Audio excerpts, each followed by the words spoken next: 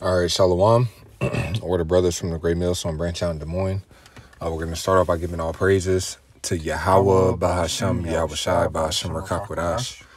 Yahweh is the true, holy, and powerful name of the Heavenly Father. Bahasham, meaning in the name. Yahweh Shai is the true, holy, and powerful name of His only begotten Son, who is the Savior of the nation of Israel, starting off with the elect within the nation of Israel. Excuse me.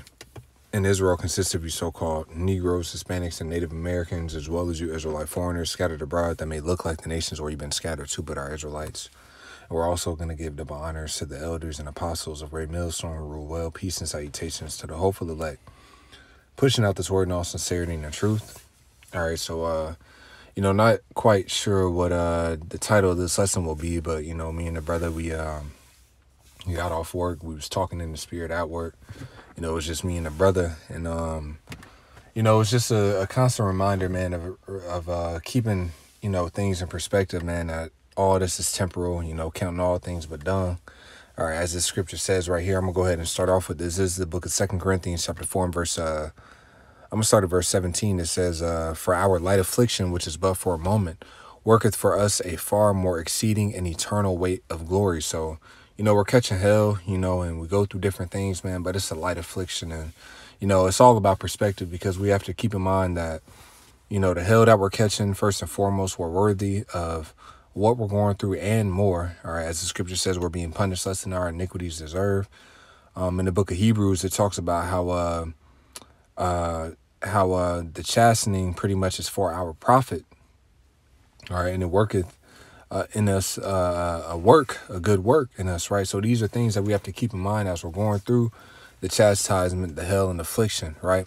So it says. And you can read uh, verse 16, slide. Kind I got you. Yeah, I'm going to start at verse 16. It says, For which cause we faint not, but though our outward man pan- perish, yet the inward man is renewed day by day. Right, and and that's right, because I wanted to make mention, because, like, okay, so yeah, the outward man is perishing, and right, the the new man is uh uh being renewed in the spirit of Yabashim Shah day by day. So every day is a is a different battle that you have to go through to what to improve the inward man that's within you, man. And the inward man is talking about your mind, your spirit, your you know your true spirit.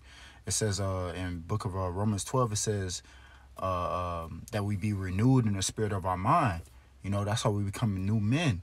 You know, it's all about becoming becoming mature and becoming a, a new man in the spirit of Yabashim Shah. We have to cut off our old habits, which is that old man, you know, cutting off our old habits, which would hinder us of our growth of becoming a new man. You know, whether it be women, you know, rather be a uh, uh, time that you put in forth doing uh, this, that, and the third, or whether you give yourself over to it too much, you know. Mm-hmm. It's all a it's all a balance, you know, within this uh within this ministry you know but uh you know i just wanted to make mention on that uh on the 16 right right and that uh you just mentioning that through the spirit uh that's that's actually written in the book of colossians the third chapter. It talks about mortifying our members you know which is killing off you know this flesh this man. All right that's why the scriptures you know through the spirit uh talks about being uh circumcised in our heart. And uh when you're circumcised all right the physical act of circumcision is cutting off the excess flesh. Mm all right, in the book of uh, James, it talks about uh, put aside the superfluity of mm. naughtiness. Yeah. All right, that superfluity is what the residue or the remains of a person that he had prior to their conversion. Yeah. Right, and this is a constant process of chipping away at the old man. I always use the analogy of a of a sculptor. All right, you know, um, you had marble sculpture sculptures uh, more so in the ancient world and so on and so forth. So you would have a, a sculpture a sculptor excuse me that would take a slab of marble or whatever you know uh, material that he was using and then he would have an image in his mind that he was chipping away at that big block at right? And that's what we're constantly doing is chipping away at that old man all right? Chipping away of uh, uh, that old person and it being conformed or molded to the image of Yahweh Shai, mm-hmm. right? So this is the process that we're we're uh, we're constantly going through. You know, just going back into the, the point that the brother was mentioning. But I'm gonna go back to this in the book of Second Corinthians, chapter four, verse uh, sixteen. For it says, "For which cause we faint not." But though our outward man perish, yet the inward man is renewed day by day. So, you know, even though it may hurt, all right, uh, it says, for the chastening of this present time may not be joyous, uh, but grievous, but nevertheless it yieldeth the forth the peaceful- fruit unto righteousness. So it doesn't feel good, all right? Even denying yourself, it doesn't feel good, all right? Because what feels good is doing what your flesh, whatever it wants to do. Of course, that's going to feel good, but what? That's a temporary thing. And um, we have to keep that in mind, or Having the mindset that our forefathers had of delayed gratification. They were willing to put away the temporary for that time or temporary emotions all right? Or just an example even with joseph. All right see joseph was being tempted by that egyptian woman that was uh who was a potiphar's wife if i'm not mistaken on um uh, the specific uh uh, man it was, but I believe it was Potiphar's wife, and it says how pretty much she pulled upon him every day. All right, she wanted to sleep with him, but he wasn't finna get down and commit adultery. All right, so physically he could have fell into that temporary satisfaction. All right, but what he denied himself. All right, he denied himself of that pleasure, and this is the mentality of our forefathers. Before we continue, I want to read this in the book of Hebrews. All right, because we have to have that mindset of delayed uh, gratification. All right, willing to uh, look beyond the temporary feelings and emotions that certain things could uh, give unto us at that point to do the will of Yahweh Yahweh Shai. It says, He that resisteth the pleasures crowneth his life. All right. And this is the mentality that our forefathers had. They resisted pleasures. All right. Yahweh Shai being the, the greatest example, or a man that loved woman. All right. Pursuing back to King Solomon. All right. He fell at the woman as Adam. Right. So when he came as Yahweh Shai, he completely conquered that. Yeah, um, cause it, even what you was just saying, it made me think about uh, I, I I believe it was going back to Joseph, where it talked about how he um he didn't want to um partake in sin for a season or something like that. Well, that's the spirit because this is what I'm grabbing, and it Oh, speaks okay. about Moses. But since you, uh let me see, uh, I'm gonna, I'm just get, I'm gonna just read that. That's the spirit though. But this is the book of Hebrews, chapter 11, and verse 23. It says, "By faith, Moses, when he was born, was hid three months of his parents." I should have started down, but it's all good. It says, "Because they saw he was a proper child, and they were not afraid of the king's commandment." By faith, Moses, when he was come to years, refused to be called the son of Pharaoh's daughter. All right, it says, uh, choosing rather to suffer affliction with the people of the Most High. Now, just keep in mind, him being the son of Pharaoh's daughter, that gave him a certain status, mm-hmm. that gave him a certain comfortability. Mm-hmm. He, all right, he was raised up in, in, in riches, right? So, this is how he was brought up. But what he refused all of that. He refused the status, he refused the riches, right? It says, choosing rather to suffer affliction with the people of the Most High than to enjoy the pleasures of sin for a season. So mm. we have to keep in mind that these things are temporal. It is only for a season. right. All right. The scriptures even talk about how certain individuals have received their consolation. So for a season, you're comforted because you got money, you got riches, and all right, whatever the case may be, you know. Yeah, nah, cause I I be thinking about it, cause we always make the statement about like how people are like trying to get rich, at the times where we we living here it is we're living at the end times. People still trying to get rich. People still trying to drop their next album. People still trying to go to the league. People people still trying to run it up, and it's like, bro, this society is crumbling right before your eyes, but you don't see it because you're caught up in the in the, the you're caught up in the now. You know, we, we we can't be caught up in the in the now. We got to be caught up in what's to come. You know what I'm saying? It says that uh, Esau is the end of the world and Jacob is the beginning of the of it that followeth. We're we're we're we have our mind set up set upon the things to come. All right, which is the kingdom, that city that's set up that's set up on a, a broad field, man. You know, that's why the scriptures told that. See, Yahweh he he already told us what to do. He told us to set our uh, uh, Affection. affections on things above and, and not on things below. All right. He's told us to store our treasures up in heaven. You know what I'm saying? And not upon earth. So we already have our mind set on toward the things to come, man. The the the uh, uh the future, man. Okay. Rather than having our things set upon, set upon earth where it says uh where moth and rust do uh do corrupt. You know what I'm saying? Where things are being dissolved, so on and so forth. break through and steal. Yeah, yeah, yeah. You know, it's like uh, uh, cause like we was talking about, you know, um, at uh, when we was at the gig, it's like, man, it's it's it's things that uh the Lord will allow you to go through. All right, because Mm-hmm. one See, we have to have this mentality, all right? And the Lord is molding us into that mentality of really counting all things but dung. As a matter of fact, I'm gonna read that and I'm gonna go back to this just to make sure you know we uh we damn it. I, I, I got you. I can get it for you. precepts, damn it. Yep, Slovakia. No, no, you good.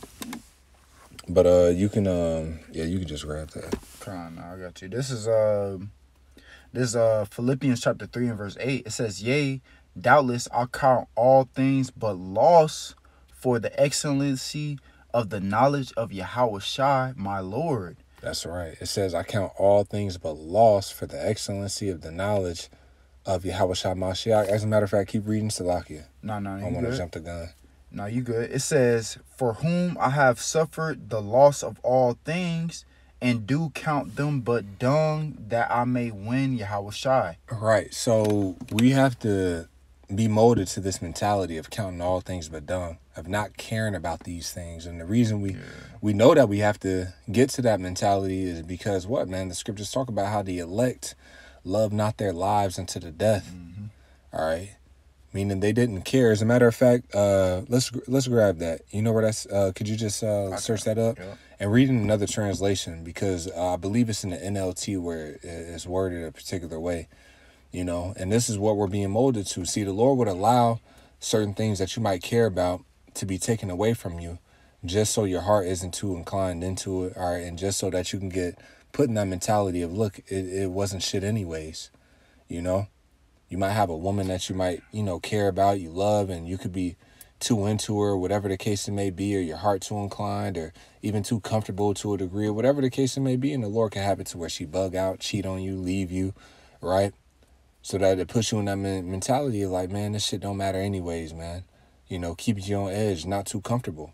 You know, so certain things that we go through, man, where the Lord is like keeping us in that proper mentality or to not care. So then let's say that, you know, that situation happened, the Lord strengthened you, you got over and everything like that. So now when you you um maybe in another situation where you're involved with you know another woman or you could be involved with something that you know your heart could be inclined into man you're not putting too much of an investment into it because you know that like Yahweh Shai re- read uh like Yahweh told us man set your affection on things above all right? Uh, uh, on the kingdom of heaven where neither moth doth corrupt or thieves can break through or steal. See things can be taken away from you all right? Things are corrupted right? This ain't it you know and the things that we go through is putting that putting us in that mentality man that's why the scripture says he that getteth wisdom becomes quickly without care all right so as we grow in this wisdom man we should be caring less about the things of this place and be uh, detaching as opposed to becoming more attached to this place man but Salaki, i don't want to keep rambling you can go ahead and read that bible Kosha. Yeah, Salakia. Well, uh, how was the uh, word again? uh uh it was uh damn i forgot what i had quoted Salaki. it was um yeah, I was trying to search it. I was trying to make sure I had the the right words in the uh, no it's uh man it's suffer, suffer and death. suffering death Yeah, it, bro. I was. No, no, it's all good. It's all good. I ain't even gonna worry about it. It's all good. Uh, we'll go back and uh, read this in the book of Second Corinthians. This is uh, Second Corinthians chapter four, and verse uh, seventeen. It says, "For our light affliction, which is oh, that's what it was. The water Yahweh was the revelation. Oh, All right, the book of Revelation that says they love not their lives to death. so you can put uh, No, no, I got you. Khan the water. Yep, and then um, Yep. uh, this is uh Revelation chapter twelve and verse eleven. Read it in the KJV verse in, first, and then you can read it in the NLT. Con. This is uh Revelation twelve and eleven. It says, "And they they overcame him by the blood of the lamb, and by the word of the testimony, and they love not their lives unto death." Right now, it says they love not their lives unto death. Now, Bible Kashah, could you read that in the NLT? Con. Just give me a quick second. Yeah, this is second. uh Revelation twelve and eleven in the NLT. It says.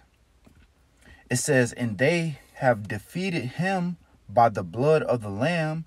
And by their testimony, and we know that the lamb is, is talking about our Lord Yahweh Shai. Even uh, John the Baptist, uh, he, he mentioned how, uh, how he said, "Behold, the Lamb of," uh, he said, uh, "Behold, the Lamb of the Lord." I believe in uh in the That book taketh of, away the sin that of away the Israel. sins of Israel. That's right. All right, and that's a representation of our Lord Yahweh Shai. But it says, "And they have defeated him by the blood of the Lamb and by their testimony, and they did not love their lives so much that they were afraid to die. Right. So it says they did not love their lives so much that they were afraid to die. So for a person to get to that point to where they don't even fear dying or they don't even care mm-hmm. about dying, you think they care about their relationship with a right. woman more? Here right. it is, they willing to die. You think they care about anything else more than that? Right. you know? Their heart is clung to anything. You know, here it is. Their life is on the line. They was like, look, we'll get beheaded. Fuck it. You think they care about anything else more? You know, their job.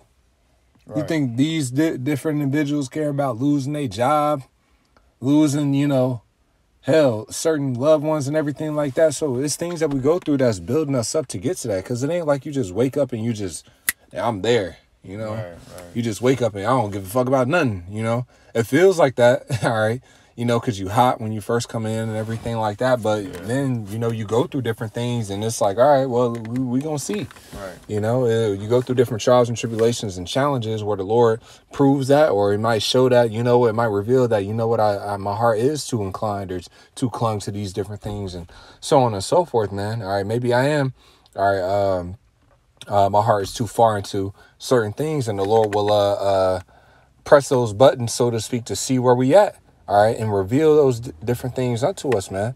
All right, so once again, man, that's what the scriptures talk about. A mean estate is not always to be contemned. All right, mean estate is a lowly estate. So when we're brought low, it's not a uh, something to contend because the word the Lord could be working something in us. Mm-hmm. All right, we're putting that in that fire to reveal certain things, or we're putting that fire to show forth what men are men we are, right? You know, to strengthen us as we move on in these different battles, man. Right. Now, uh, going back to this in the book of Second Corinthians, was there anything else that you was reading? No, that was it. That was it. All right, I'm gonna go back to this in the book of Second Corinthians, chapter four, and verse uh, uh, 17. And it says, "For our light affliction, which is but for a moment, worketh for us a far more exceeding and eternal weight of glory." It says, "While we look not at the things which are seen, but at the things which are not seen. For the things which are seen are temporal, but the things which are not seen are eternal. So we have to keep in mind, man, all these things are temporary. All right, we was even uh, speaking about it on the line, man. When you consider the time that we've been on this earth, all right, and the time that's ahead of us, man, this is so minuscule. Mm. For the scriptures to say that a thousand years is like a sand that is is like a, a grain of sand on the on the seashore, for the scriptures to say that, and it says that the days of uh, Israel are innumerable, right? We haven't even begun living, man. It says Esau is the end of the world, Jacob is the beginning of it that followeth. We haven't even got to our beginning. All right, we haven't even got to our birth. Okay, Scripture says, uh, "Shall a nation be born in one day?" All right, look, we aren't even in our in our the flesh that we're in ain't even our bodies that we finna be in in eternity. Where right. this is just we're renting this out. We've been renting out. All right, these this flesh. All right, for a couple of days here all right, you know, compared to the eternity that's ahead of us. And I say a couple of days according to, you know, the amount of time that we've been here in this flesh until we get our new bodies that we're going to have for eternity. So we haven't even began living. So when you really think about things like that, or I say for myself, when I consider things like that, man, it really, it really helps me to not even care about a damn bill that I was worried about earlier that day or you yeah. know, or this or that, whatever little carnal BS that tries to, you know, be on your mind, man. It helps you put that shit away quickly, man. So like you go yeah. ahead. Well, nah, I mean, I mean, Slocky, I mean to cut you off, but nah, like, good, when you actually think about certain things, it'd be like, okay, yeah, I'm dealing with this situation now. For these, maybe okay, I'm I'm finna be dealing with this situation for like a couple days, maybe a week, maybe two weeks. But mm-hmm. then it's like, after those two weeks, then then it's like I'm not think I'm not finna be worried about because here it is. You'll go through certain things, and and we can all we all have have um, certain things that we've dealt with before in the past to where it's like we're not thinking about those things no more. Right. It seemed heavy during it, yeah. but once you got out, it was like, uh, yeah, it's like I'm not worried about this situation no more that I've dealt right. with in the past. I'm not worried about this particular female, whether it's whether it's a female or whether it's a job or whether it's a car situation, whether it's anything, you know what I'm saying? Right. Like it, it, it could be anything, you know what I'm saying? Right. You're not worried about the those past situations that you that you used to deal with. Yeah. You know, you're you're moving forward. You, the, and but at the same time you've grown from those situations and that's what the lord is doing with us man we're which each which each uh uh trial and tribulation because that's what it says in Sirach 2 it says uh it says when you come to serve the lord prepare our soul for temptation all right? And not and it's not only just temptation but also trial and tribulation. You know what i'm saying? We have to prepare our minds for these different things. That's why the lord puts us through the fire. You know because it says that the fiery trial which is the uh which is the try you you know what i'm saying? Just to show you that those trials are uh, uh synonymous with, with with fire. You know because it says that the uh, that the it says um, that the furnace uh, uh how's the word in Sirach Slakia? Uh, The, uh, the second chapter. yeah, yeah, yeah. For gold is trod in the fire, and acceptable men in the furnace of adversity. That's right. That's right. So we are being accepted in the furnace of adversity. So when we go through these different trials and tribulations, those are uh, uh, uh, uh, um, trials for us to be shown as, as as gold, man. right. You know. Well, even Job said, he said, when I'm tried, I'll come forth out, out as gold. Then he described how he was going to come out as gold. He said that I will hold fast to thy steps and from thy way I have not declined. So we show forth that we're gold when we, you know, hold fast to following Yeah. these words and these precepts, even in the midst of the fire. Mm-hmm. That's what separates the elect from the rest of the nation of Israel, which is the wood, hay, and the stubble, being the you know those that's going to be destroyed. Man, when they get in that affliction, they're gonna they're gonna fold, or they're gonna make decisions that aren't pleasing in the sight of Yahweh Shem Yahweh Shai. Not saying that we don't make mistakes, all right, but even King David, you know, he made his, his mistakes, and the Lord had mercy upon him. But what his heart was still towards the Heavenly Father, he still fought to serve him. You know. You know, so that's the mentality, man. No matter what we go through, no matter what we suffering through, man. Hey, we got to continue to fight, hold on, hope for mercy. The scripture says how the Lord will have mercy upon those, or uh, uh, yeah, it says the Lord uh delights in those that hope in His mercy. Roughly paraphrasing that in the Book of Psalms. All right? but I'm gonna read this verse 18 again. It says, "While we looking at the things which are seen, but at the things which are not seen, for the things which are seen are temporal, but the things which are not seen are eternal." All right, so you know we gotta keep our mind focused on those things. All right, not getting caught up with the day to day. All right, uh, as our forefathers, going back to that in the book of Hebrews, the 11th chapter, it says how what man they they saw those promises afar off, man. They they confessed that they were pilgrims, man. We're just passing through. Once again, man, we got a whole eternity, man. Once again, this, this, man, look down at yourself right now. That ain't even you ain't that, that ain't even your your your your home. All right, that flesh that you in, man. You you know This ain't even your real estate. this ain't even you know you you just renting this out you know for the meantime until you get that eternal body that'll never decay that'll never have a blemish yeah. all right that'll never you know break down on you or whatever the case it may be you ain't gonna have no pain you're not even in the flesh that you're gonna be in for eternity yet you know we haven't even gotten to that point yet to where we got changed into those new bo- new bodies and that's just the beginning Yeah. you know so what are, why why should we care about you know these things that are here right now man. You know? You're gonna be well off in the kingdom. There's so much ahead of us man that the lord has prepared for us man. It ain't gonna be a dull moment. And those are the things that we need to continue to remind ourselves of and meditate on to strengthen us to endure the trials and tribulations the hell the sufferings right? Because that's what yahweh shai did. Said for the glory that was set before him he endured the cross and despised the shame we always mention you go into that word despise it says to think little or nothing of it all right? And that's compared to what? The glory that was set before him. So because of the reward he thought little or nothing of the suffering because it the sufferings of this present as we read are not worthy to be compared. It's incomparable man. Way more ahead of us you know?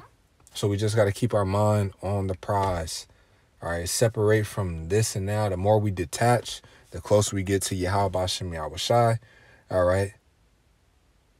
The closer we get to our Lord, man, and, and and sooner, man, before you know it, we'll be out this bitch, and we'll finally be able to live as it is written in the book of Colossians, man. Your life is hid with Yahweh hmm. Shai. That's when we begin to live. All right, when Yahweh Shai is glorified throughout the earth, man, that's when we begin to live. You know. But did you have any other precepts you wanted to hit out? Nah, that was, that was it. Yeah, man, and, and through the spirit, like I said, you know, it's just through the spirit. You know, we was having spiritual conversation, and you know, wanted to bring out some precepts on this, and you know, Lord's will is edifying, uh, strengthening, man. Having that being said, we're gonna give all praises to Yahweh, by Hashem, Yahweh by Hashem Rakakwadash. Double honors to the elders and apostles of Great Millstone who rule well. Peace and salutations to the hopeful elect pushing out this word all sincerity and in truth. With that, we're going to say shalom. Shalom.